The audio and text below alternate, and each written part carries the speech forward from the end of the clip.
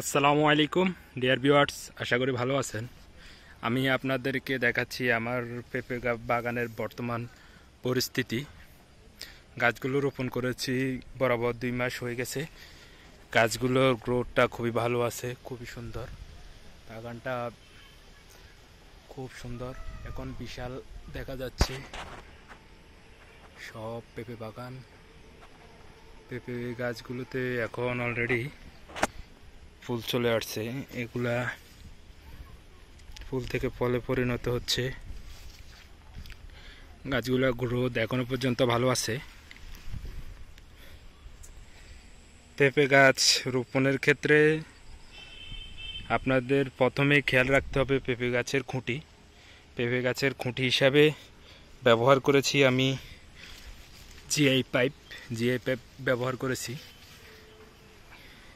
যেন জিএ প্যাপ দিয়ে গাছকে ভালোভাবে বেঁধে দিয়েছি যাতে, কারণ এখন বর্ষাকাল, এই গাছগুলো বাতাসে যাতে না ঢলে পড়ে, এর জন্য প্রত্যেকটা গাছ সুন্দরভাবে আছে, শুধুমাত্র তার পারফেক্ট একটি খুঁটির কারণে। প্রতিটা গাছে আপনারা দেখতে পাচ্ছেন সুন্দরভাবে ফুল এসে গেছে। কারণ আমি রেড লেডি তাইওয়ানের সেভেন এইটটি সিক্স জারটি রোপণ করেছি। এই জাতের বিশেষত্ব হচ্ছে প্রতিটি গাছই মাদি হয় এবং প্রত্যেকটা গাছেই পেঁপে ধরে। কারণ পুরুষ গাছ এখানে হয় না। বাগানটা খুবই সুন্দর হয়েছে, বর্তমানে গাছের পরিস্থিতিও ভালো। জি, প্রিয় কৃষক ভাই বন্ধুরা, যারা আমার ভিডিওটি দেখছেন, অবশ্যই লাইক, শেয়ার, সাবস্ক্রাইব করবেন আমার চ্যানেলটি। তো যেই কথাটি বলতেছি, সেটি হচ্ছে পেঁপে চাষের ক্ষেত্রে আপনাদেরকে প্রথমে খেয়াল রাখতে হবে, পেঁপে চাষের আগে জমিতে ভালোভাবে আপনারা একটা চাষ দিয়ে নেবেন। যদি চাষ না দিতে পারেন, সেক্ষেত্রে ছয় ফিট দূরত্ব বজায় রেখে পেঁপে গাছে, পেঁপে গাছটি একটি গর্ত করে আপনারা সার, গোবর এবং পচা আবর্জনা মিশ্রিত যে কোনো জৈব পদার্থ আপনারা মাটিতে ভালোভাবে মিশিয়ে নিতে পারেন, সেক্ষেত্রে আমি গোবর এবং কচুরি পানার পচা ব্যবহার করেছি। গাছগুলোর এর জন্য গ্রোথটা ভালো। আর রাসায়নিক সারটা দিয়ে দেবেন, এর পরবর্তীতে দশ দিন পরে চারাটি রোপণ করবেন। আর গাছ রোপণের পাশাপাশি প্রতি দশ দিন পর পর বা পনেরো দিন পর পর ইমিডোক্রোপিড গ্রুপের একটি কীটনাশক আর যে কোনো একটি ছত্রাকনাশক ব্যবহার করবেন। রিপকট এই রিডোমিন গোল্ড হোক বা কভার অক্সিকোরাইট হোক, আপনারা এগুলো ব্যবহার করবেন যাতে গাছের কচরা জাতীয় সমস্যা না হয়।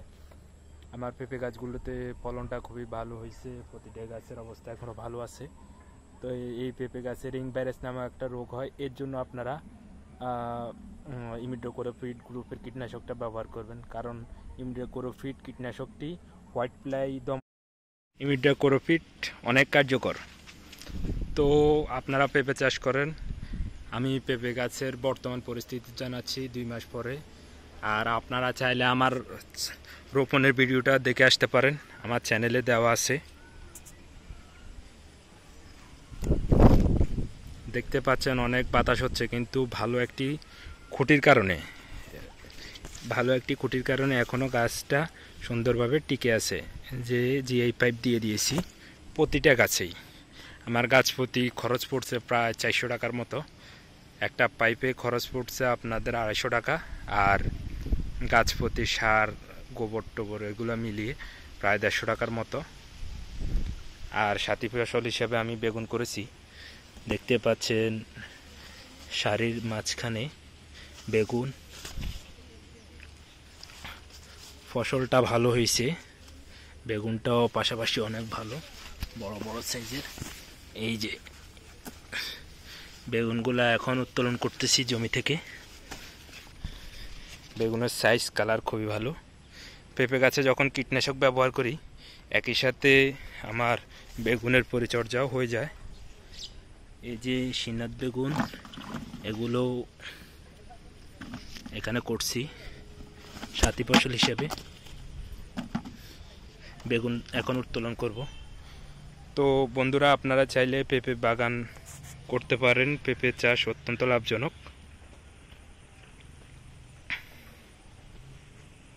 গাছগুলো খুবই বড় হয়ে গেছে এখন, প্রায় অলমোস্ট সাত ফিট উঁচা হয়ে গেছে। এই যে সাথী ফসল হিসেবে বেগুনগুলা শাড়ির মধ্যখানে। মোটামুটি বেগুন করে খারাপ ফলাফল পাই নাই। আমার ভালোই একটা ইনকাম হচ্ছে। যে কীটনাশকের খরচটা আমার বেগুন বিক্রি করে হয়ে যাচ্ছে আর জমিতে বেগুন গাছে সার দেওয়া হচ্ছে, সেই সারটি আমার পেঁপে গাছের জন্য কার্যকর হয়ে যাচ্ছে। তো বন্ধুরা, ভিডিওটা আর লম্বা করব না। আপনারা পেঁপে চাষের ক্ষেত্রে আগ্রহী হন, পেঁপে চাষেও এগিয়ে আসেন। দেশে পেঁপে চাষের ভালো একটি সম্ভাবনা রয়েছে। পেঁপে গাছের রোগ বালাই দমনটা হচ্ছে সবচেয়ে বড় কষ্টের কাজ।